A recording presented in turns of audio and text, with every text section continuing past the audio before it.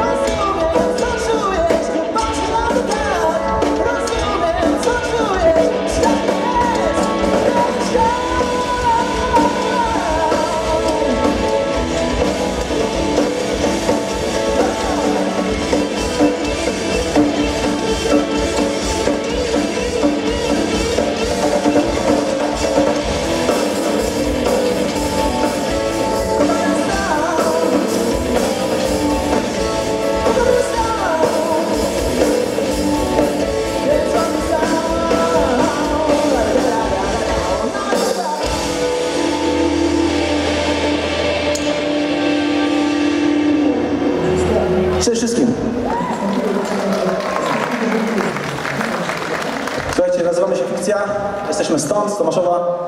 Yy, gramy dzisiaj po raz pierwszy z klawiszowcem Ernestem Jaskiem. Może zachęcić go troszeczkę? Chłopak trochę się może stresuje. Yy, Słuchajcie, yy, nie wiem, może macie ochotę trochę poskakać. Nie będziemy tutaj grać długo, więc jeśli ktoś ma ochotę, zapraszamy. Dzisiaj będzie taki młodzieżowy repertuar. Nie będziemy dzisiaj niestety grać Beaty z Albatrosa, więc trudno.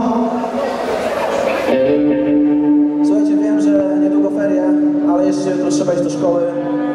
I dla tych wszystkich, którzy lubią chodzić do szkoły, taki utwór.